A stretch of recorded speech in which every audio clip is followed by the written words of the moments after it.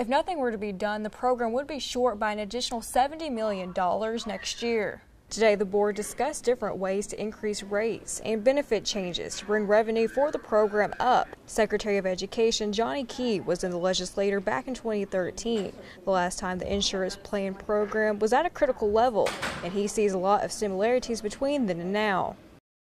So what you are looking at now is um, kind of a, what I would consider a repeat, and it's all based on what we're seeing with the experience and the utilization in the, uh, in the plan. We don't have the ability to close the gap with the options that are available to this board.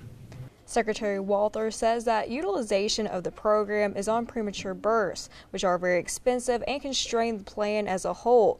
There are enough cases in a short period. The board has asked the Department of Education to ask for a $35 million allotment from the reserve fund to help float the program through next year.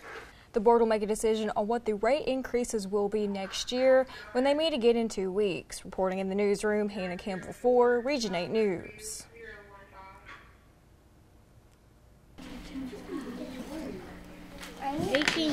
1876 is in